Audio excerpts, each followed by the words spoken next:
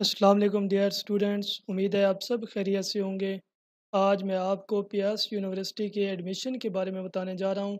किस तरह से घर बैठ के अपनी अप्लाई जो है वो आप लोग खुद कर सकते हैं। इसके अंदर डिफरेंट प्रोग्राम्स के अंदर एडमिशन जो है वो ओपन हो चुके हैं प्यास यूनिवर्सिटी के। और इसके टेस्ट की भी बात करेंगे कि किस तरह से टेस्ट पैटर्न है। क्योंकि पिछली वीडियो के अंदर हमने टेस्ट पैटर्न भी दिखाई है। और उनके पास्ट पेपर भी दिखाए हैं कि किस तरह से आपने अपने पेपर को जो है वो तैयार कर सकते हैं। यहाँ पे आप लोग देख सकते हैं B S M Phil P H D programs जो हैं वो यहाँ पे ओपन हो चुके हैं और डिफरेंट क्रिटेरियज के अंदर आप लोग यहाँ पे देख सकते हैं B S four year eligibility criteria और पी एच डी प्रोग्राम्स और इसके साथ साथ एम एस प्रोग्राम्स के अंदर सब के अंदर एडमिशन जो है वो ओपन हो चुके हैं। इसके बाद हम लोग बात करते हैं अप्लाई की किस तरह से इसकी अप्लाई जो है वो घर बैठ के आप लोग कर सकते हैं, यहाँ पे आ जाते हैं। सबसे पहले मैं आप लोगों को तरीकाकार बताता हूँ। एडमिशन टेस्ट फ़ेज़ टू जो है वो ओपन हो चुका है बीएस प्रोग्राम्स के लिए। लास्ट डेट इसकी ट्वेंटी वन जुलाई है और रिटर्न टेस्ट इसका थर्टी जुलाई है। इसके बाद हम बात करते हैं किस तरह से घर बैठ के अपनी अप्लाई जो है वो कर लेनी है। गूगल पे आ जाना है, प्यास यूनिवर्सिटी आप लोगों ने क्लिक करना है। जैसे ही क्लिक करेंगे इसको इंटर कर देना है। जैसे इंटर करेंगे, इसकी फ़र्स्ट वेबसाइट जो है, इसको ओपन ओपन कर लेना है प्यास यूनिवर्सिटी को। जैसे ही ओपन करेंगे, ये इस तरह का इंटरफेस आ जाएगा जो कि मैंने आपको पहले दिखाया है। इसको आप लोगों ने कैंसिल कर लेना है और यहाँ पे आप लोग देख सकते हैं, एडमिशन की बात कर रहे हैं तो एडमिशन के ऊपर फ़र्स्ट जो है एडमिशन, इसको आप लोगों ने क्लिक कर लेना है। जैसे ही क्लिक करेंगे इसके बाद आप लोगों के पास इस तरह का इंटरफेस आ जाएगा। यहाँ पे देखिए एडमिशन शेड्यूल 2023 और यहाँ पे apply for BS test to know. इसके अंदर आप लोगों ने अप्लाई करना है। अगर आप कहते हैं कि B S M Phil P H D के अंदर आप लोगों ने अप्लाई करना है तो आप लोगों ने क्या करना है? सिंपल यहाँ पे आके प्यास यूनिवर्सिटी को क्लिक करना है। जैसे ही क्लिक करेंगे, यहाँ पे नीचे देखें बी एस एम फिल के शेड्यूल के अंदर जो है ओपन हो चुके हैं। B S admission 2023 fee structure M admission 2023 अगर आप लोग एम एस एम के अंदर एडमिशन लेना चाहते हैं तो सिंपल इसको आप लोगों ने क्लिक कर लेना है। जैसे ही क्लिक करेंगे तो इस तरह का आप लोगों के पास जो है वो इंटरफेस आ जाएगा और यहाँ पे देखें अप्लाई नाउ के ऊपर जो है वो अपनी अप्लाई जो है वो कर सकते हैं। अगर अंडर ग्रेजुएट के ऊपर क्लिक करना है तो अंडर ग्रेजुएट के ऊपर। अगर डॉक्टरेट के ऊपर क्लिक करना है तो डॉक्टरेट के ऊपर क्लिक करके आगे ऑनलाइन अप्लाई जो है उसका आ जाएगा। हम कहते हैं कि अंडर ग्रेजुएट के ऊपर अप्लाई करना है तो हम सिंपल इसको हमने क्लिक कर लेना है। जैसे ही क्लिक करेंगे, देखें यहाँ पे एडवर्टाइजमेंट ऑनलाइन अप्लाई और बीएस प्रोग्राम्स के अंदर आप लोगों ने अप्लाई करना है। इसका टेस्ट पैटर्न भी यहाँ पे है और आप लोगों ने सिंपल क्या करना है, इसको ऑनलाइन अप्लाई के ऊपर जो है वो क्लिक कर लेना है। जैसे ही क्लिक करेंगे, इस तरह का आप लोगों के पास इंटरफेस आ जाएगा। यहाँ पे क्रिएट एप्लीकेशन कर लेनी है। जैसे ही क्रिएट एप्लीकेशन करेंगे ये एक इंटरफेस देख सकते हैं। यहाँ पे एप्लीकेंट नेम्स जो आपका एप्लीकेशन नेम्स है, वो आपने लिखना है अपना पूरा नाम। उसके बाद एड्रेस जीमेल एड्रेस जो है, वो यहाँ पे लिखना है और डेट ऑफ़ बर्थ भी आगे लिखने है। डेट ऑफ़ बर्थ कैसे लिखनी है? ए, ये जो आप देख रहे हैं month in words dates and year के अंदर जो है, अपनी डेट ऑफ़ बर्थ लिखनी है। फॉर एग्ज़ाम्पल मैं कहता हूँ, मेरी 12 जुलाई 2001 की तारीख पैदाइश है। सबसे पहले मैं क्या लिखूँगा? July J U L Y उसके बाद ट्वेल्व, उसके बाद कामा उसके बाद 2001 इस तरह से मैंने अपनी डेट ऑफ़ बर्थ जो है वो लिखनी है। इसके बाद C N I C number, शनाख्ती card number, dash के साथ आपने लिखना है। ओवर सेल्स पाकिस्तानी को टिक नहीं करना। उसके बाद जीमेल का आपने पासवर्ड देना है और कन्फर्म पासवर्ड उसी पासवर्ड को दोबारा आपने क्लिक करना है। जैसे ही क्लिक करेंगे उसके बाद रजिस्टर नो के ऊपर जो है आप लोगों ने क्लिक कर लेना है। जैसे ही रजिस्टर नो के ऊपर क्लिक किया है, उसके बाद हमसे ये पूछ रहा है are certificate that is my correct इसको भी क्लिक कर लेना है जी को भी क्लिक कर लेना है सर्टिफिकेट को भी क्लिक कर लेना है सी एन एस सी को भी क्लिक कर लेना है। इट मीन्स ये सारी चीज़ें जो हमने पुट की हैं, ये सब की सब ठीक हैं। उसके बाद रजिस्टर्ड अकाउंट के ऊपर आप लोगों ने क्या करना है क्लिक कर लेना है। जैसे ही क्लिक करेंगे यहाँ पे आप लोग देख सकते हैं अकाउंट क्रिएटेड यूर आईडी और remember in your ID of future तो हमने क्या कर दिया रजिस्टर्ड अपने आप को कर दिया है। अब क्या करेंगे? Go to log in of the page इसको आप लोगों ने जो है वो क्लिक कर लेना है। अब जैसे ही क्लिक करेंगे, यहाँ पे आप लोग देख सकते हैं सी एन ऐसी नंबर जो आपने डाला है, वो आपने डाल देना है। उसके बाद आपने पासवर्ड अपना डालना है। जो आपका पासवर्ड आपने लगाया है अभी वो आप लोगों ने लगा लेना है, उसके बाद क्या करना है? लॉग इन कर लेना है।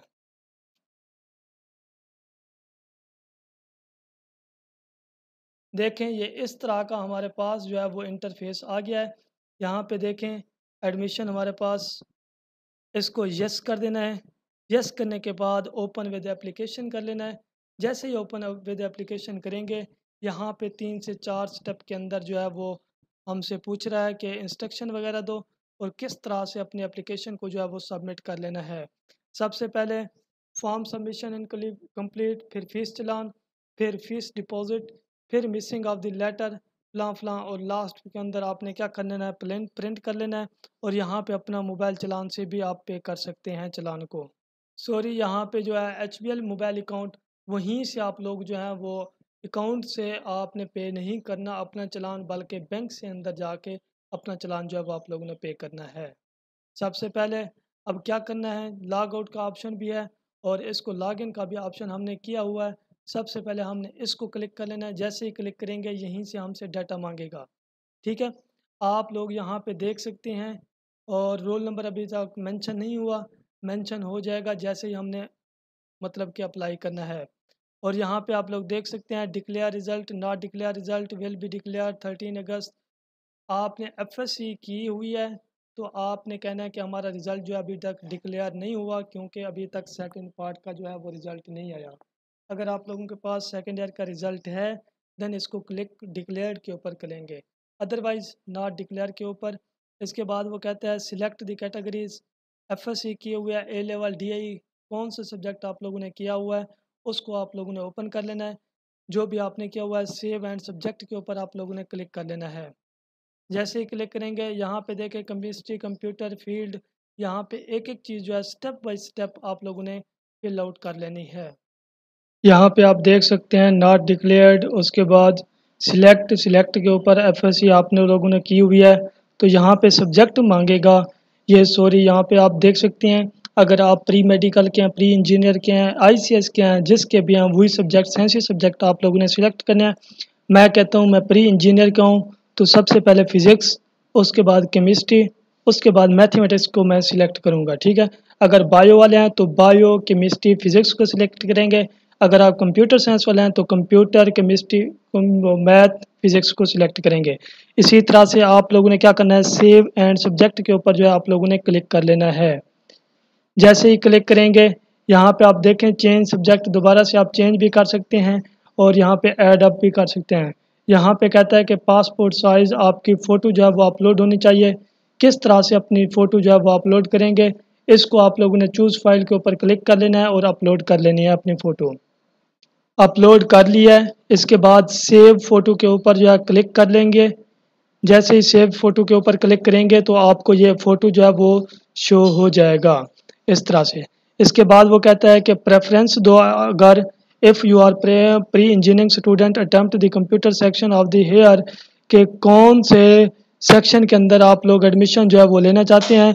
डिफरेंट डिपार्टमेंट जो है वो यहाँ पे ओपन है और इसके बाद सिलेक्ट टू के अंदर आप लोग देख सकते हैं। सिलेक्ट थ्री के अंदर आप देख सकते हैं कि किस के अंदर आप प्रेफरेंस देना चाहते हैं। फ़र्स्ट प्योरिटी किसको देना चाहते हैं? सेकंड थर्ड किसको देना चाहते हैं? फॉर एग्जांपल मैं कहता हूँ बीएस फिज़िक्स में आगे करना चाहता हूँ, क्योंकि ऊपर सब्जेक्ट भी मेरे मेंशन है। नीचे बीएस फिज़िक्स के ऊपर मैंने फ़र्स्ट प्रेफरेंस दे दिया है। इसी तरह से दो तीन आप और भी देख सकते हैं। उसके बाद आप लोगों ने क्या करना है? क्लिक किया टू डिग्री प्रेफरेंस उसके बाद क्लिक किया आप लोगों ने कर लेना है। क्लिक केयर करने के बाद यहाँ पे आ गई है जैसे फ़िज़िक्स फिज़िक्स के बाद आप लोगों ने क्या करना है? नेक्स्ट के ऊपर जो है वो क्लिक कर लेना है। यहाँ पे देखें डिग्री बीएस फिज़िक्स हमने करनी है। तो प्रेफरेंस फ़र्स्ट प्योरिटी के ऊपर आ गया है। इसके बाद नेक्स्ट के ऊपर जो है वो हम लोगों ने क्लिक कर लेना है। जैसे ही नेक्स्ट के ऊपर क्लिक करेंगे, यहाँ पे आप लोग, यहाँ पे आप देख सकते हैं कि फुल नेम गार्डन नेम और डेट ऑफ़ बर्थ अपनी और यहाँ पे जेंडर मेल फीमेल जो भी है, यहाँ पे क्लिक कर लेना है। नेशनैलिटी पाकिस्तानी है, जो भी है, यहीं से अपनी जो है वो आप लोगों ने सिलेक्ट कर लेना है। उसके बाद रिलीजन मज़हब कौन सा है? इस्लाम है क्रिश्चियन है, जो भी है जिसका वो सिलेक्ट कर लेना है। उसके बाद डोमिसल कौन से सिटी का है, जिस सिटी का भी है डोमिसल वो अपने सिटी जो है वो सिलेक्ट कर लेना है। उसके बाद करस्पॉन्डिंग एड्रेस अपने घर का एड्रेस जो है वो यहाँ पे लिखना है। क्या एड्रेस है, जो भी एड्रेस है वो यहाँ पे लिख लेंगे। जैसे मैं कहता हूँ कि ये मेरा एड्रेस है। इसके बाद डिस्ट्रिक्ट डोमिसल हमारा, कोई सा एक डिस्ट्रिक्ट में जो चूज़ कर लेता हूँ। और स्टेटस हमारा क्या है मैरिड है अनमेरिड है, जो भी है वो स्टेटस सेलेक्ट कर लेंगे। उसके बाद सिलेक्ट वहाँ भी मतलब के जो भी है आपका मतलब के कार जिसको कहते हैं कि मज़हब जो है, उसको आप लोगों ने सिलेक्ट कर लेना है। उसके बाद आप लोगों ने क्या करना है? प्रोवाइंस आपने पंजाब है के पी के है, खैबर पख्तूनख्वाना है, जो भी है, उसको आपने सिलेक्ट कर लेना है। इसके बाद आप लोगों ने क्या करना है? सिटी अटक जो भी सिटी है, आपका वो आपने सिटी सिलेक्ट करना है। इसके बाद आपने क्या करना है? सेव एंड इंफॉर्मेशन के ऊपर जो है, वो क्लिक कर लेना है। सेव एंड नेक्स्ट करने से पहले यहाँ पे आप देख सकते हैं फ़ोन नंबर अपना लिखना है। जो भी आपका फ़ोन नंबर है फ़ोन नंबर लिखने के बाद आपने सेव एंड नेक्स्ट के ऊपर जो है वो इन्फॉर्मेशन के ऊपर क्लिक कर लेना है। फॉर एग्ज़ाम्पल ये हमारा फ़ोन नंबर है, सेव इन्फॉर्मेशन कर देनी है। जैसे ही इन्फॉर्मेशन सेव करेंगे, उसके बाद आप लोग क्या करेंगे? एरर करेक्शन फादर नेम, वो कहता है कि आपका फादर नेम नहीं है। फादर नेम चले मैं यहाँ पे लिख लेता हूँ। उसके बाद आप लोगों ने क्या करना है? सेव एंड इन्फॉर्मेशन के ऊपर जो है वो क्लिक कर लेना है। जैसे ही क्लिक करेंगे, यहाँ पे नीचे आप देख सकते हैं नेक्स्ट के ऊपर आप लोगों ने क्लिक कर लेना है।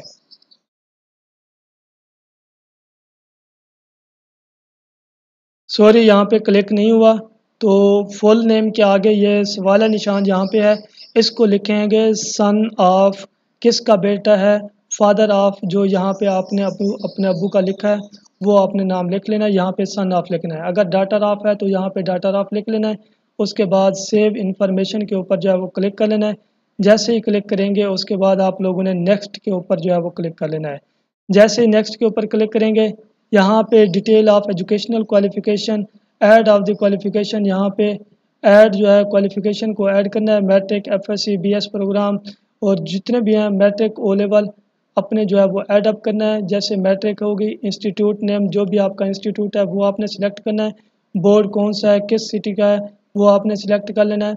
पासिंग ईयर कौन सा है, कौन से ईयर के अंदर आपने पास किया, वो ईयर लिखना है। सब्जेक्ट साइंस है आर्ट्स है, जो भी है, वो आपने लिख लेना है। ऑप्टेन मार्क्स कितने हासिल किए हैं? फॉर एग्जांपल मैं कहता हूँ 900 हासिल किए हैं। टोटल मार्क्स हमारे पास कितने हैं? टोटल मार्क्स मैट्रिक के जो होते हैं, वो 1100 होते हैं। इसके बाद आप लोगों ने क्या करना है? सेव एड क्वालिफिकेशन इसको आपने ऐड कर लेना है। यहाँ पे देखें आई केयरफुली दैट इसको फिर क्या करना है? ऐड अप कर लेना है। उसके बाद go to next step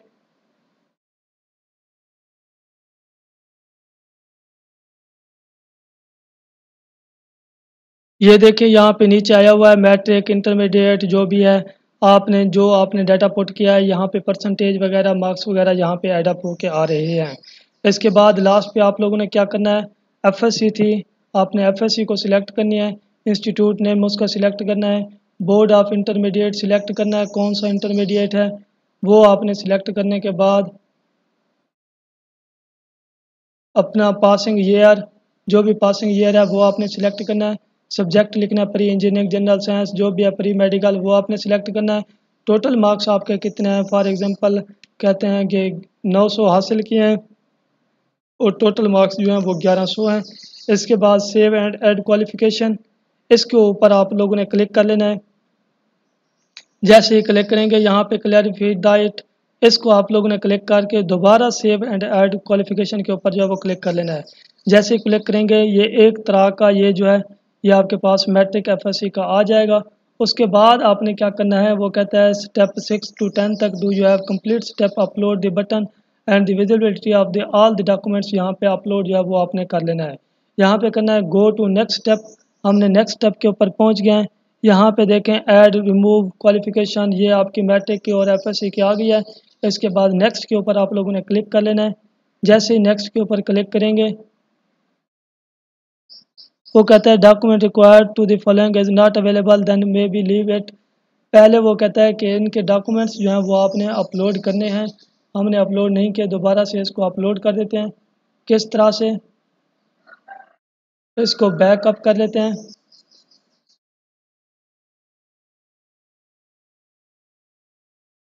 add qualification के ऊपर क्लिक करके हमने डॉक्यूमेंट्स यहाँ से अपलोड करने हैं।